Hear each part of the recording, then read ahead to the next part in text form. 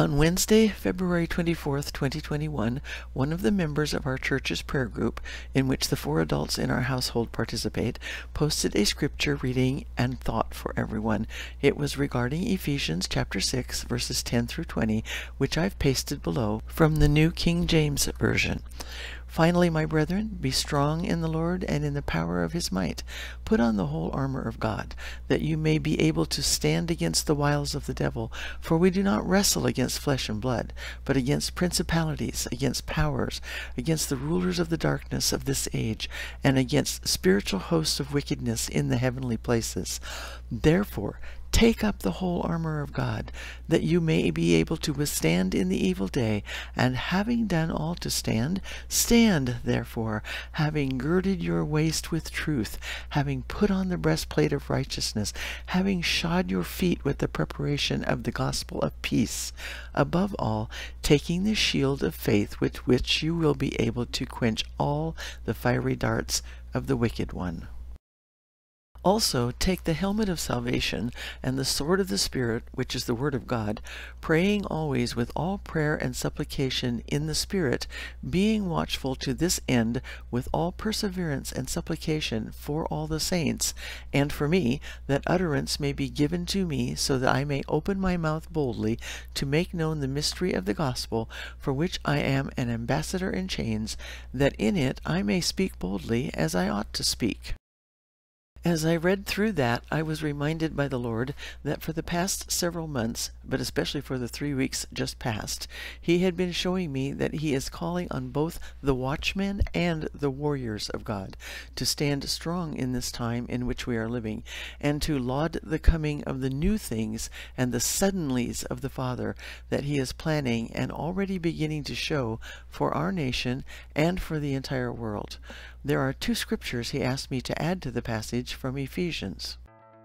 The first one is Joel 2, which begins, Blow the trumpet in Zion. It's quite long, so I'll leave it to you to read by going to the link in the description.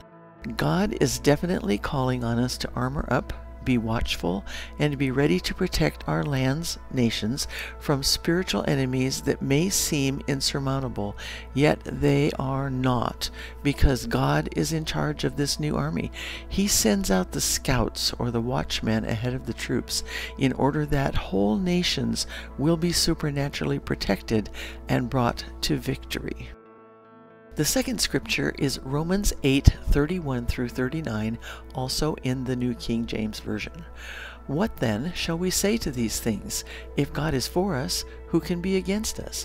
He who did not spare his own son, but delivered him up for us all, how shall he not with him also freely give us all things? Who shall bring a charge against God's elect?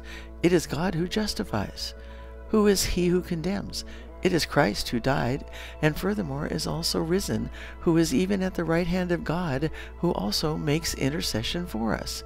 Who shall separate us from the love of Christ? Shall tribulation, or distress, or persecution, or famine, or nakedness, or peril, or sword?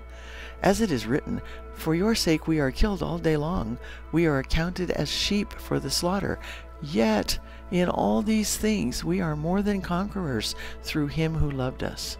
I am persuaded that neither death, nor life, nor angels, nor principalities, nor powers, nor things present, nor things to come, nor height, nor depth, nor any other created thing shall be able to separate us from the love of God, which is in Christ Jesus our Lord. Also, we are called to stand strongly with God and His Word and to fight alongside the angel hosts who are already working for His purposes. This is how we shall overcome those who are fighting against us and against God Himself. Glory to God! Psalm 91, 11 through 12 says, For he shall give his angels charge over you, to keep you in all your ways. In their hands they shall bear you up, lest you dash your foot against a stone. Hebrews 1:14, referring to angels, says, "Are they not all ministering spirits sent forth to minister for those who will inherit salvation?"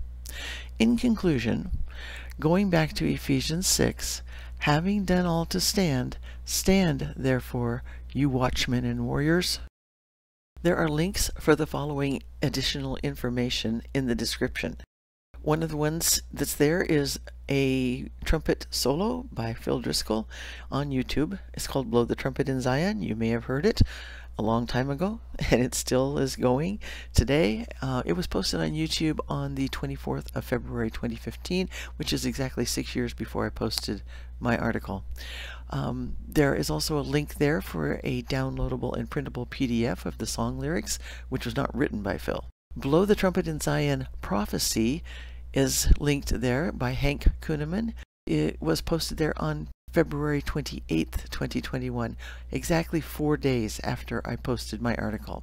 The Burning Ekklesia by Becca Greenwood, which was done at Oasis Church, posted on YouTube on March 19th, 2021, just a few weeks later. There was also a prophetic dream called White House Suspended in Time by Wanda Alger, which was posted on YouTube on July 8th, 2021.